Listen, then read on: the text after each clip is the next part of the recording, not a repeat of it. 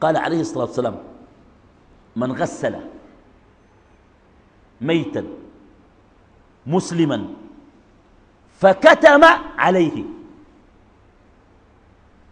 من غسل غسل الجنائز ده؟ الناس بيابوا الزول يقول له خش غسل. يقول لك لا لا أنا خلوني. يقول لك أنا شنو؟ خلوني مالك يا زول؟ بتخاف ولا شنو؟ يقول لك أنا ما بعرف. ما بتعرف مالك؟ انت قال الموضوع ده بيقولوا جامعه الجنايز دي يتعلم يغسلوا الجنازة كيف يتعلم. واحتسب من غسل ميتا مسلما فكتم عليه. كتم يعني أي حاجة. شافة قبيحة أو حاجة ما بتليق ما كلم الناس. كتمه. غفر الله له أربعين كبيرة.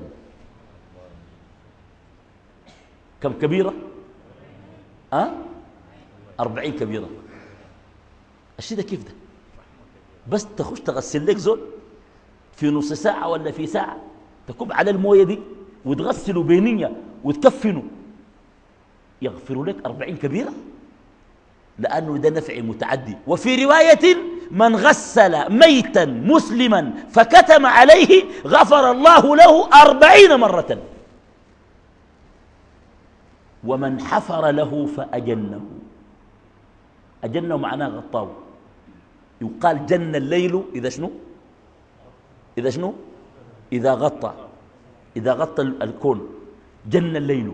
فأجنه الناس عندهم مروة عالية في المقابر. لكن بيحفروا. لكن أهم شيء يحفروا بشنو؟ بنية. الناس بيحفروا. من حفر له فأجنه كتب له كأجر مسكن أسكنه إياه إلى يوم القيامة. معناه شنو؟ زي أنت الزول اللي دفنته ده أجرت له بيت وسكنته فيه في الدنيا وبتدفع له إيجاره لحد القيامة تقوم. مش لحد ما أنت تموت وأولادك بعدين يجي ينطوا لا. تدفع له إيجار لحد ما انت لحد القيامة تقوم. تقدر؟ تقدر تأجر لزول بيت لحد القيامة تقوم؟ كتب له أه؟ يستحيل. كتب له كأجر مسكن أسكنه إياه إلى يوم القيامة. ومن كفن مسلما كساه الله من سندس واستبرق الجنة.